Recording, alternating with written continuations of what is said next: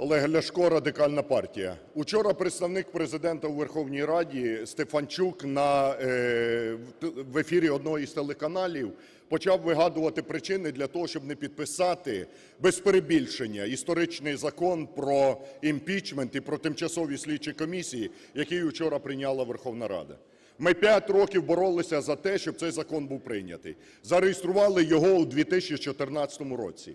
Я кілька разів зустрічався із тоді Президентом Порошенком і переконував його, щоб його фракція і він особисто підтримали цей закон. Тому що не може бути такого, коли в країні є люди, які поза законом, поза відповідальністю, які поза контролем українських громадян і українського суспільства. Учора парламент прийняв архіважливе рішення. Нарешті. Я вважаю, що прийняття цього закону це торжество народовладдя, коли е, парламент отримує реальні інструменти контролю за владою. Від імені українських громадян і встановлюється механізм відповідальності президента, якщо він чиняє ці злочини. І що ми чуємо від команди президента? До виборів Зеленський розказував, що він прийме закон про імпічмент, і він дуже хоче, щоб всі відповідали. Після виборів ми чуємо його помічники вже розказують, закон не такий. І шукають приводи, щоб його не підписати. Насправді це тест для Зеленського. Якщо він заветує цей закон, це означає, що він просто боїться відповідальності, що він продовжує створювати окремий клан в країні державних керівників, які не підконтрольні громадянам, які поза законом, які що хочуть, те й роблять і ні за що не відповідають.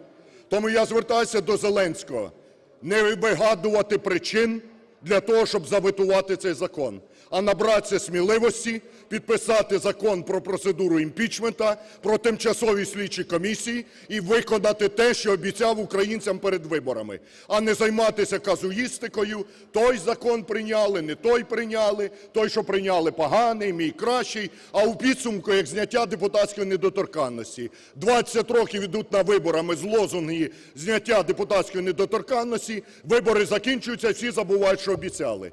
Я е, прошу Зеленського не перетворюватися на Порошенка. Порошенко в 2014 році обіцяв відкриті виборчі списки, посадити трьох своїх друзів і подолати корупцію.